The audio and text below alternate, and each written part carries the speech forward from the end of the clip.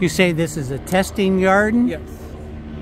So they're constantly changing the plants to see what draws the butterflies the best, or? And you have different butterflies are attracted to different plants. So you can kind of test that out too. Well, it's pretty. And something that I like to look at more explore our garden. Well, I'll explore it with my eyes. How's that? All right, you take care. You too? Will do. And this is G leaving Rafiki's Planet Watch and loving the vegetation. But I'll tell you what, it was hard for me to get up after I ate. I am one tired puppy. Not used to all this walking when I was pretty much in bed for a little over two weeks being sick.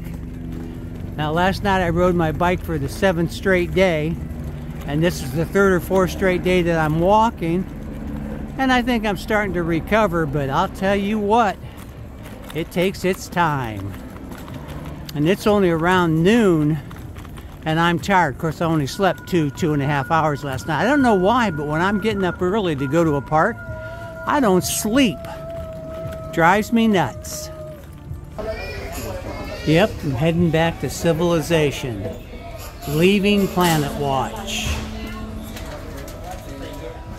Gonna head over to the Lion King show. Welcome aboard the Wildlife Express. We hope you enjoyed your visit to Rafiki's Planet Watch.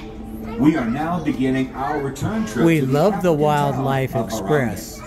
Harambe. For your safety, please remain seated. Heading back to your Harambe. hands, Can't wait. feet, and legs inside the train. Sit all the way back against the bench.